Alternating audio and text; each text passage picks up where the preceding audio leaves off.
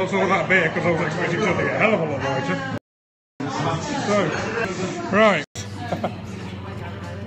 So. Oh, 6.1%. Oh, that is. That is. I don't know what that is. I don't know what that is, I really don't. Um, kind of dark, kind of smoky. Got um, imperial stout smell. And flavour through it, but it's only 6.1. Um, yeah, quite a roast. Oh, there we are. So I shipped my batteries. That's jumped from 1 to 47 as I put the battery back on.